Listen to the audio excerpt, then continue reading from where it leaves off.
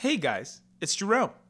And in this video, I'm going to walk you through how to fix an update is required to use cellular data on this iPhone. It's pretty quick and easy, so let's jump right in. So first we're going to go to settings, then we're going to go to general, then we're going to scroll down and try shutting down the phone and then restarting the phone. If that doesn't work, then we're going to try toggling the phone from airplane mode to cellular data mode. If that doesn't work, go to settings, then we're going to go to general, then we're going to go to transfer or reset iPhone, and then we'll click reset network settings.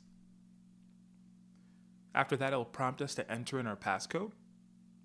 After we try that, if we see that we're not getting cellular data on the iPhone, then you should contact your local cellular provider and see if there's a local outage in your area. Hope this video was helpful.